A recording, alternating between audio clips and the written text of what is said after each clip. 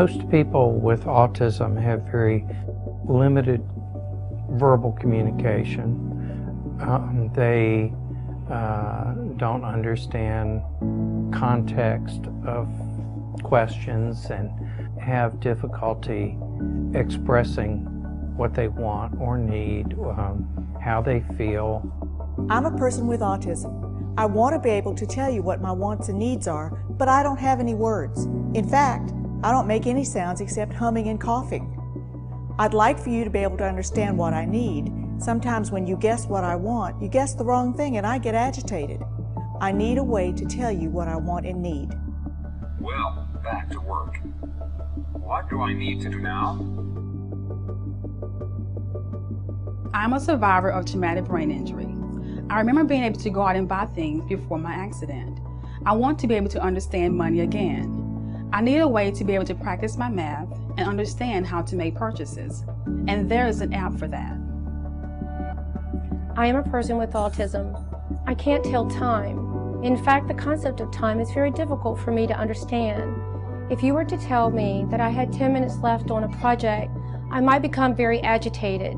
So I need a way of being able to understand time without using a clock. And there's an app for that.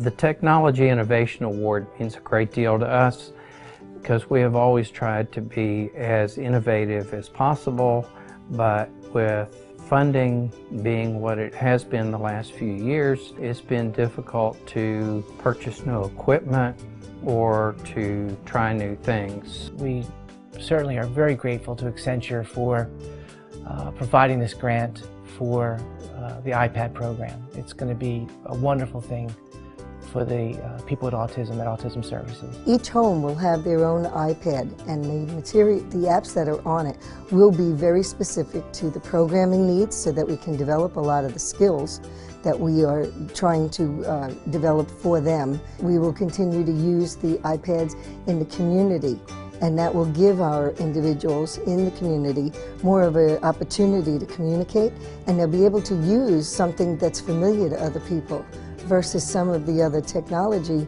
that's the older devices that set them apart and make them look different. This is new for us. It's unique, it's exciting, and it's something that we hope will, will grow not only within our organization, but but with other organizations. My brother uh, Thomas is uh, has autism, and he uh, he lives in a group home for autism services. I think the iPad program will help Thomas communicate, have self-esteem, and will empower him to be able to do more. And all that's going to lead to happiness, more happiness for Tommy. Thank you, Accenture. Thank you, Accenture. Thank you, Accenture.